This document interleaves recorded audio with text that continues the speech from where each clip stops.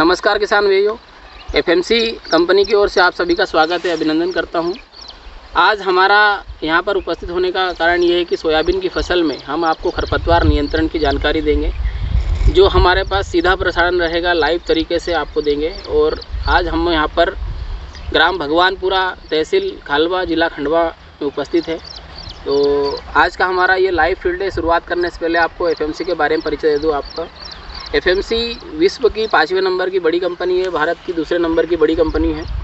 और सात हज़ार से ज़्यादा कर्मचारी यहाँ पर काम करते हैं, छब्बीस विनिर्माण केंद्र हैं और तेईस अनुसंधान केंद्र है। सालाना तीस हज़ार हज़ार करोड़ का कारोबार करती है, जिसमें से पच्चीस सौ करोड़ हम लोग अनुसंधान केंद्र पर कार्य करते हैं। 2018 में सबसे बेस्ट एग्रो अवार्ड अवार्ड सम्मानित किया गया एफएमसी कंपनी को। और मेरा नाम, मेरा परिचय की बात करूँ तो मेरा नाम राजू विश्वकर्मा है। मैं खंडवा ज़िले का सोयाबीन का जो क्षेत्र है उसका प्रतिनिधित्व करता हूँ। और आज सोयाबीन के खेत में जो हमारा उद्देश्य है कि फ़सल के अंदर सोयाबीन की फ़सल के अंदर खरपतवार नियंत्रण कैसे करें। तो आज हम जानेंगे आ, किसान भाई से हमारे। नमस्कार भैया। नमस्कार। आपका नाम? मुकेश मुकाती भगवानपुरा। मुकेश मुकाती जी के साथ जानेंगे। तो सोयाबीन की फ़सल में खरपतवार नियंत्रण करना एक बड़ी चुनौती है। जो हर समय हमें परेशान करती है। आज के समय की बात करूँ तो सोयाबीन के अंदर कुछ जिद्दी खरपतवार ऐसे हैं जो नियंत्रण नहीं हो पाते हैं। इसी को देखते हुए सोयाबीन की फ़सल में एफएमसी ने एक नया उत्पाद लॉन्च किया है, जिसका नाम है अथॉरिटी नेक्स्ट। अथॉरिटी नेक्स्ट नई पीढ़ी का खरपतवार नाशक है। तो आज हम लोग लाइव जानेंगे कि हमारे खेत के अंदर सोयाबीन की फ़सल में किस तरीके से रिज़ल्ट है, उसके कौन कौन से खरपतवार नियंत्रण करता है और किस तरीके से उपयोग करना है। तो आइए जानते हैं हम खेत के अंदर चलते हैं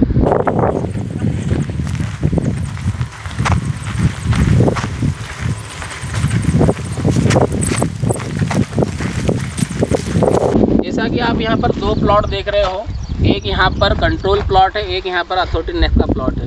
कहने का तात्पर्य ये कि यहाँ किसान द्वारा प्रैक्टिस की गई है, इसमें कोई भी दवाई नहीं डली है और यहाँ पर हमारा अथॉरिटी नेक्स्ट प्रोडक्ट डला है। पहले हम देखते हैं कि जहाँ पर कोई दवाई नहीं डली है, उसमें क्या रिज़ल्ट हैं कौन कौन से खरपतवार आए हैं जिससे खरपतवार होने से हमारी फ़सल पर क्या असर पड़ा है, इससे प्रतिस्पर्धा जो हुई है, आइए देखते हैं। तो जैसे आप स्पष्ट रूप से आप देख सकते हो कि यहाँ पर सोयाबीन में खरपतवार नियंत्रण न होने के कारण प्रतिस्पर्धा ज़्यादा हुई है, कीटों का प्रकोप हुआ है। यहाँ पर फ़सल की जो शुरुआती अवस्था में जो ग्रोथ थी, जो 45 दिनों तक हम लोग बोलते हैं कि उसकी मुख्य अवस्था होती सोयाबीन की 45 दिनों तक उसकी बढ़वार की। वहाँ पर खरपतवार ने पूरी अपनी जगह ले ली है, खाद, पानी की पूरी उन्होंने प्रतिस्पर्धा करी है। तो यहाँ पर किसान भाइयों का अनुभव जानना चाहेंगे कि आपका क्या अनुभव रहा इस प्लॉट के अंदर?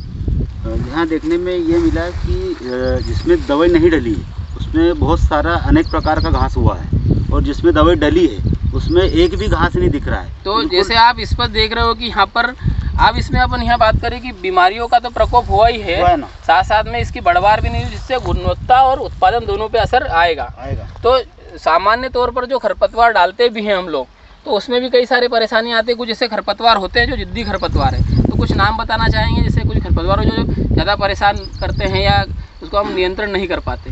जैसे इसमें एक सावरी जिसको बोलते हैं लंबी पत्ती का आता है और अपना केनिया बोलते हैं ये कुछ जैसे कंट्रोल दूसरे अदर खरपतवार नाशक से भी कंट्रोल नहीं होते लेकिन इसने उसको कंट्रोल तो किया यहाँ पर हम देखेंगे कि एक तो प्रतिस्पर्धा तो करता ही है खरपतवार लेकिन सामान्य खरपतवार नाशकों से भी हमारे कुछ जिद्दी खरपतवार नियंत्रण नहीं होते, जिससे हमारी सोयाबीन की फ़सल में प्रतिस्पर्धा बढ़ जाती है, अच्छी गुणवत्ता और अच्छे उत्पादन किसान भाई नहीं ले पाते हैं।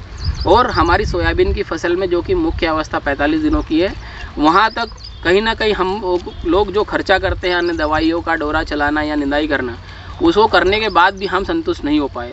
तो आइए जानते हैं कि एफएमसी कंपनी का जो अथॉरिटी नेक्स्ट है उसके क्या परिणाम हमें सोयाबीन की फ़सल में मिले आइए। तो किसान भाइयों, जैसे कि आप देख रहे हो कि जो प्लॉट हमने अभी देखा थोड़ी देर पहले, वहाँ पर दवाई का उपयोग नहीं था अथॉरिटी नेक्स का। अथॉरिटी नेक्स का यहाँ पर उपयोग किया गया है। आप स्पष्ट रूप से देख सकते हो कि कोई भी खरपतवार यहाँ पर नहीं है। आप यहाँ पर स्पष्ट रूप से देख सकते हो, कोई भी खरपतवार यहाँ फ़सल के अंदर नहीं है। और फ़सल की जो बढ़वार है, रौनक है और जो उसका उठाव है, कहने का मतलब अगर खरपतवार नहीं होगा सोयाबीन की फ़सल में तो हमारी शुरुआती जो अवस्था है पैंतालीस दिन की, वहाँ प्रतिस्पर्धा नहीं होगी और हमारी फ़सल में अच्छी गुणवत्ता और अच्छा उत्पादन मिलेगा। तो किसान भाई, हम जानते हैं आपसे कि अभी जो प्लॉट हमने दिखाया और इस प्लॉट में आपको क्या क्या अंतर मिला और कौन कौन से खरपतवार कंट्रोल हुए? इसमें तो संपूर्ण रूप से खरपतवार कंट्रोल हो चुके हैं। और सोयाबीन की हाइट बहुत अच्छी है। अगर जिसमें घास है उसमें हाइट छोटी है उसमें डेढ़ गुना बड़ी है। डेढ़ गुना बड़ी है। हाँ। तो कहने का मतलब अगर खरपतवार नहीं है शुरुआती अवस्था से ही हम लोग अगर खरपतवार नियंत्रण करते हैं उगने से पहले से ही उन्हें समाप्त करते हैं तो हमारी जो प्रतिस्पर्धा है वो ज़ीरो हो जाएगी खरपतवार में और हमारी जो शुरुआती बढ़वार मिलेगी सोयाबीन में वो पूर्णता मिलेगी उससे बढ़वार अच्छी होगी जो खाद पानी है पूरा खाद ले लेंगे। खुद पा, खाद पानी पूरा उसको फ़सल को लगेगा जिससे हमें उत्पादन अच्छा मिलेगा। कीटों का प्रकोप नहीं होगा बीमारियों का प्रकोप नहीं होगा कुछ उस पर उत्पादन में असर नहीं आएगा। तो आप स्पष्ट रूप से यहाँ पर देख सकते हो कि कोई भी जिस तरीके से हम यहाँ देखें तो बिल्कुल साफ़ सुथरा खेत है। क्लियर तरीके से आपको दिखाई दे रहा है ये। का अटैक भी नहीं है। कोई भी बीमारियों का अटैक नहीं है और बिल्कुल स्वस्थ फ़सल है। जिससे हमें उत्पादन और गुणवत्ता बढ़ाने में मदद मिलती है। तो आइए हम जानेंगे आपकी थोटी नेक्स का उपयोग कैसे करना है और इसका क्या क्या बेनिफिट है। तो अ, हमने ये प्लॉट करीब 12 मार्च को लगाया था 2021 में और आज ये करीब 40 दिन का हो चुका है। हम लोग गर्मी के समय ये प्लॉट लगाया है। अथॉरिटी के उपयोग की बात करूँ तो ये पाउडर फॉर्म में अवेलेबल है, आधा किलो प्रति एकड़ के हिसाब से डोज है।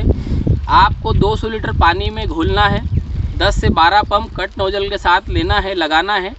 सोयाबीन की बोनी करने से ज़ीरो से 48 घंटे के अंदर हमें इसका उपयोग करना है, बीज उगने से पहले। उपयोग करते समय साफ़ पानी लें कट नोजल का उपयोग करें और अच्छी तरह गोल बनाएँ। सोयाबीन की बोनी करने से ज़ीरो से 48 दिन की 48 घंटे के अंदर आपको इस दवाई का अथोटिनेक्स का उपयोग करना है। अगर आप सही तरीके से उपयोग करते हैं तो सकड़ी पत्ती, चौड़ी पत्ती, जो हमने अभी खेत में देखे हैं खरपतवार, उन दोनों चारों से निजात पा सकते हैं आप शुरुआती दौर में ही।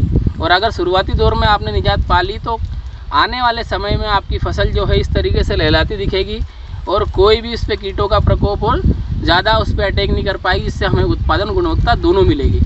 तो आइए कुछ चारे हमने निकाल के रखे हैं वहाँ पर, टेबल पे तो वो भी देखते हैं कौन कौन से खरपतवार हमारे पास अभी मौजूद हैं।